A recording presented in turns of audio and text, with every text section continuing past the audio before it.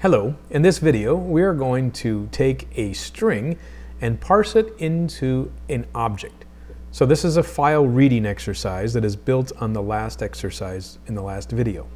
So what you see on the screen here is the code from which we produced our last exercise. In the last exercise we created a list of four different car types. They had different uh, properties and then we created an array and saved each of them to a file. So the file looks like this here, the cars list. You can see that I have the year, the model, or is that the make? The Mustang is the model, the, the miles, and then 5.8 stands for the number of liters and the size of the engine. So the goal here is to be able to reverse the process that we did in the previous exercise. We want to read the data and then parse it as objects. So let's get started with a new function. So at the bottom of the screen, I'm going to insert some new code and I'm going to make a new method. So this new method will have to be public and static. The return type is going to be an array list of type car.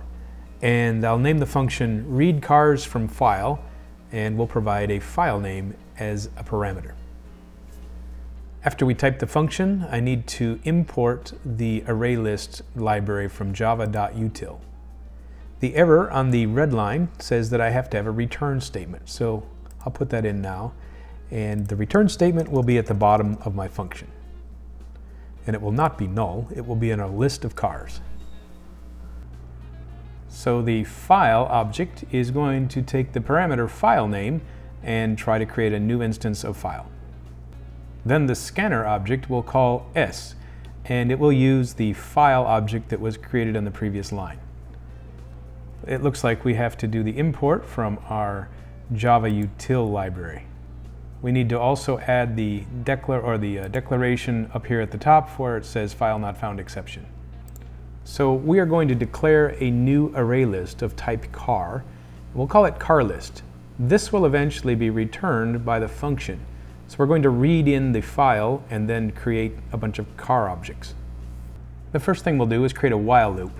So we'll use the scanner dot has next line function and we'll repeat this until we run out of lines in our file. So the first thing we need to do is capture a line. So I'll create a string and we will read in the next line from our scanner object. Now just to be clear that the cars list is going to have a bunch of lines that look like this. Each individual string will be separated by the pipe character. So we want to be able to split that line. So the function that we need to use is called split. So I'm going to create an array and call the items that we're going to split the uh, items. So you can see that line.split has a property inside here called regex, which stands for regular expression. So what I would like to do is to tell it to split the string on this character, the pipe character. However, this is a literal um, character, and in regular expressions, you need to do sometimes a, uh, a backslash to make them actually interpret that as a literal character. So regular expressions is a whole topic. It's like its own complete programming language, and we could spend a lot of time on it. But for right now, just let you know that this little expression here will split the characters on the pipe. So I'm going to do some testing just to see if this works. So I want to see if this is actually reading anything, so I'm going to show the split items. So it is an array, so there should be 0, 1, 2, and 3. And let's see, 0, 1, 2, 3. Actually, there are four of them. So I'm going to put one more line in there and print out the fourth one. So this should produce some output. Let's go ahead and call this function. Let's go back up into here, the main body, into the main section. So right here on line 34, 5, I want to call the new function. So let's go down and check to see what that function name was. It was called read cars from file. So I'll copy that name and I'll put it up here in line 35. And so that should print a bunch of things on the screen. Let's see. It needs to have an argument, needs to have a string. So the string should be carslist.txt. And let's put that in quotes so it's a string. So the program will save to this file called cars list and then immediately after read from it. Let's run it now and see what happens. So sure enough, you can see we have a bunch of results being printed to the screen. So it looks like it's reading correctly and splitting up these items. So the next goal that I have is to take all of these items that I'm reading from the text file and put them into a car object. So let's start with the first one. The first item in the list is a year, so it's an integer. And it says read item zero. So what's wrong with this? It says that year needs to be changed into a string or an integer. So I'm trying to put it into an integer, but item zero is actually defined up here as an array of strings. So we need to do some conversion. So I'm going to use the word parse int, and then inside of the parentheses, I'll put in the parse int command. And so it looks like the, the conversion will take place correctly. So for the remainder of these properties, we are going to use items and use the item 1, 2, 3, and 4. So make is from items 1. My model is from items 2. And both of these are just strings, so they don't have to be any interpretation. However, the next is odometer, and odometer is an integer. So we're going to use integer.parseInt for items 3. The last one is engine size, and so we will use the function called double dot parse double, which will turn the string into a double.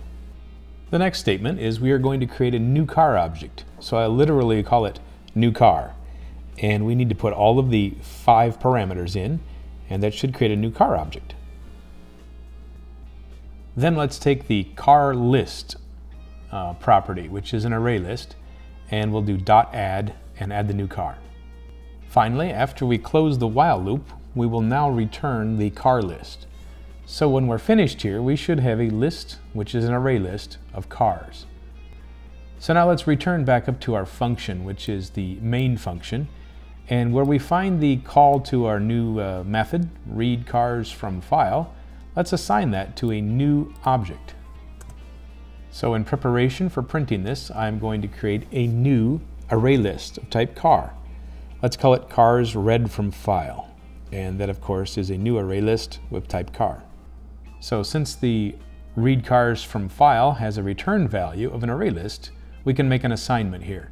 So the last step here is to take the cars read from file list and print it. So I'll use a print line and let's test this out.